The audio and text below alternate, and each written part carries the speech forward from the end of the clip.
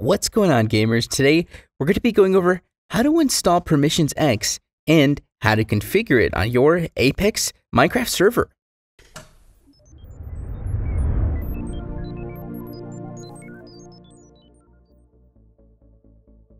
Before we hop into this tutorial, don't forget to give this video a like, subscribe, and click the notification bell so you can stay up to date on every tutorial we upload just like this one.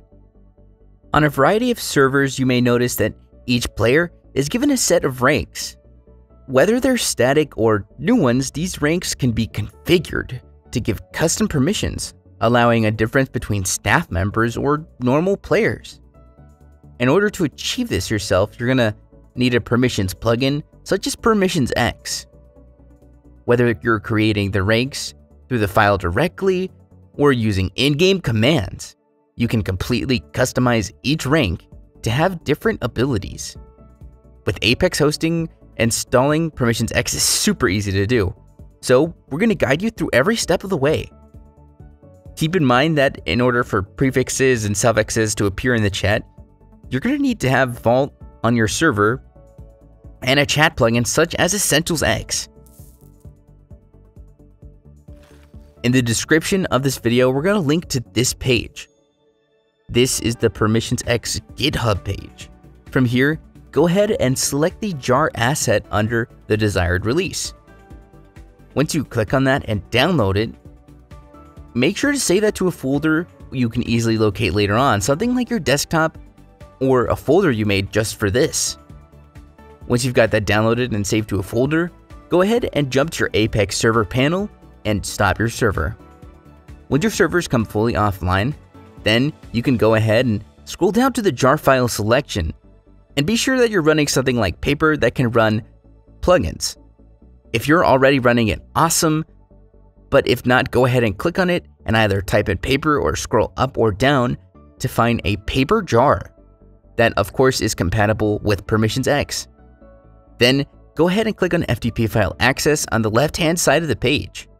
Log in with your information and then click into the plugins folder once you've loaded in. In the plugins folder, go ahead and click on upload at the top left. And now click on that folder that you downloaded permissions to earlier and then simply drag and drop the PEX jar file in to the right hand side of the page. And then once you're done, click on the server name at the top and return to the main page to restart your server. If everything went correctly, your server should turn fully online once it starts up. And in game, you should be able to type slash plugins or PL and PEX should show up. It should be listed when you hit enter. Now that PermissionsEx is installed and loaded up, you can start with a few ranks. Access to the console is required for these first commands. We're going to go ahead and make your first rank.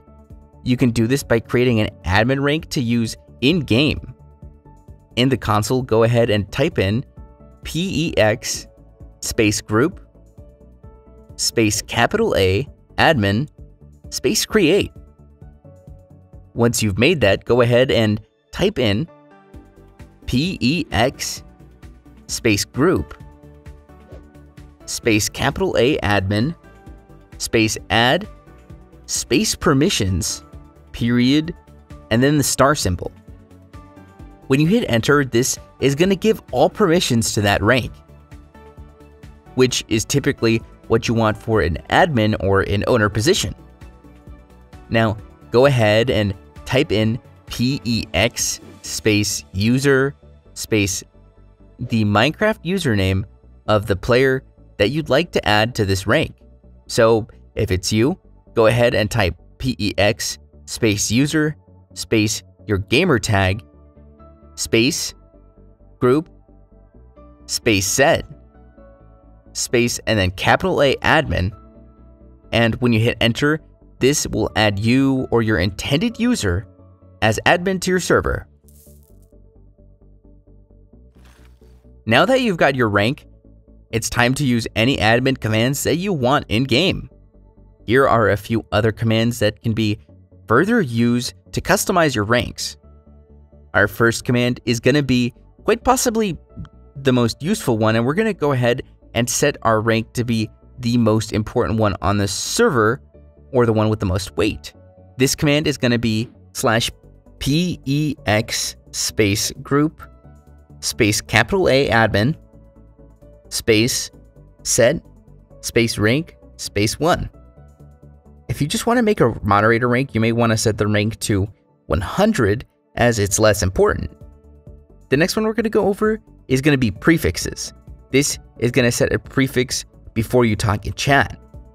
The command is going to be in the in-game console slash PEX space group space capital A admin space prefix space and then you're going to take the opportunity to type in whatever color codes you'd like.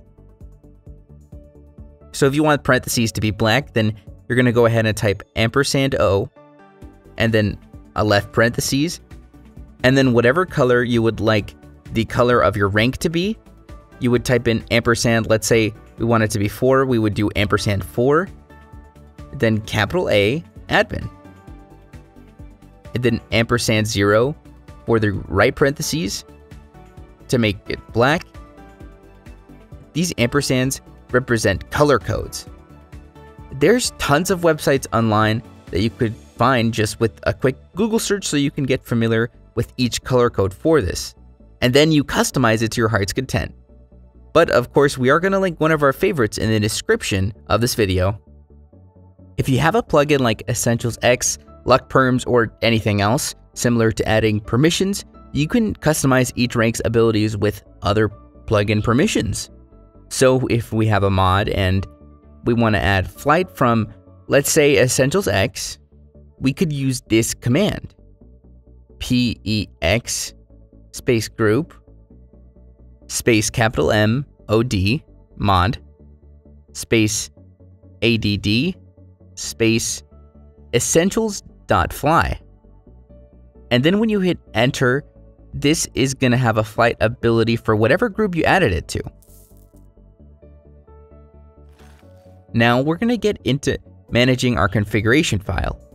Certain players prefer to edit the file directly, whether it's to see the exact changes or if their commands aren't working as expected. Please keep in mind that some of this stuff is more for advanced users.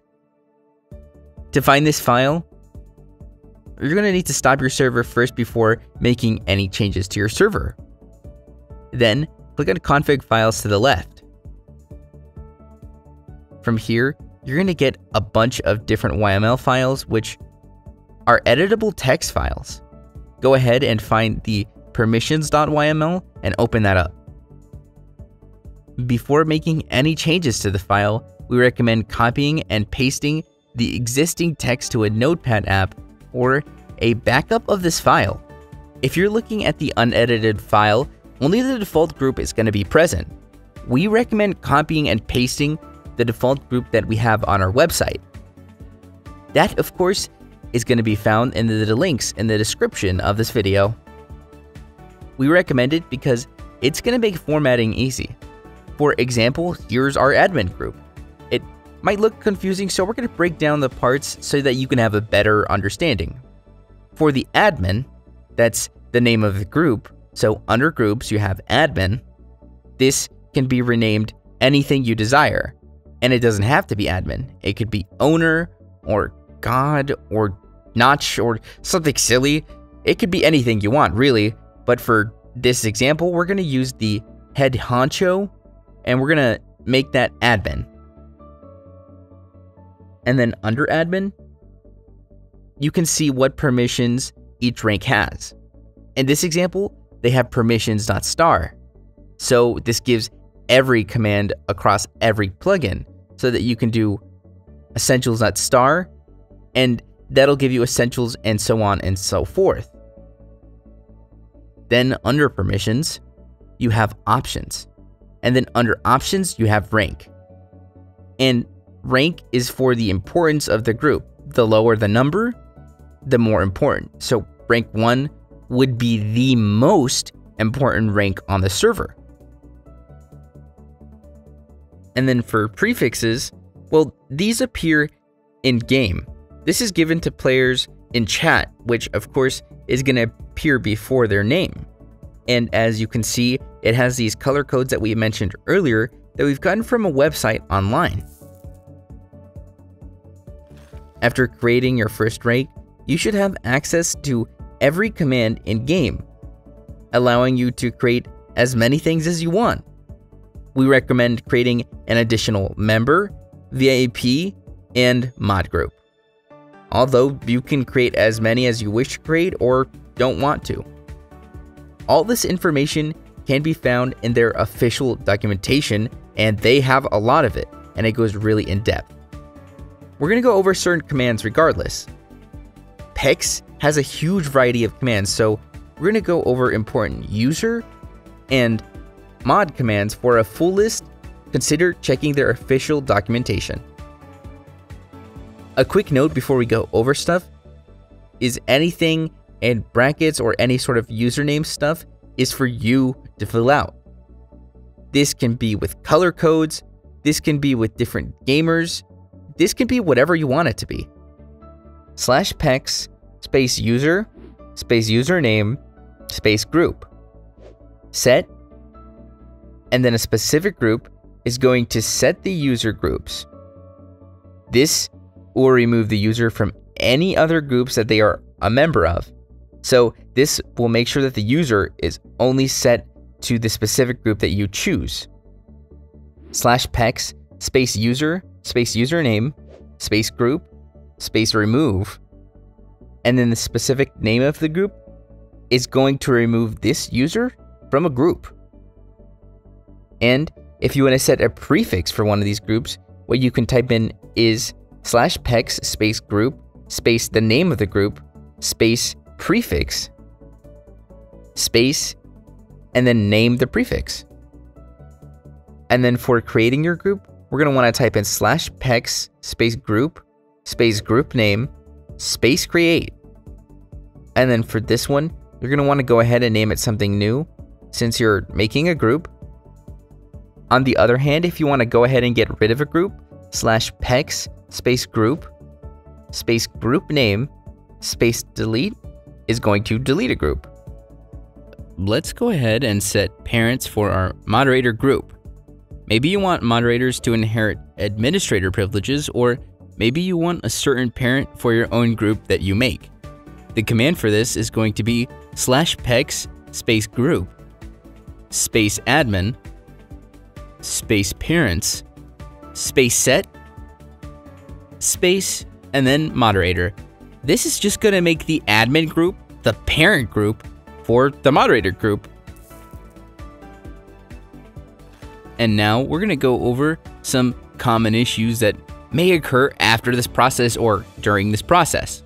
If your prefixes in chat aren't appearing when you type or when anybody else types, the main cause for this is not having the required plugins that make them appear in chat. Make sure that you have EssentialsX, Vault, and EssentialsX Chat once these are added, prefixes should appear after a restart. Another common issue that may occur is the permissions not working after creating the file. Oftentimes, this means that there's an issue with the file format causing it to not work. We recommend using a YML validator and pasting the entire config in to check for errors. You can edit the config directly through the website until it's correct and just paste it back into the panel editor. PermissionsEx is an excellent way to add ranks and permissions to your Minecraft server. With this plugin, you can create a hierarchy on your server, add rank specific owners, set people to administrator, and much, much more. Permissions are one of the hardest parts of developing your server. However, as long as you get the general format or are careful with making your groups and permissions, you should be able to do it with ease.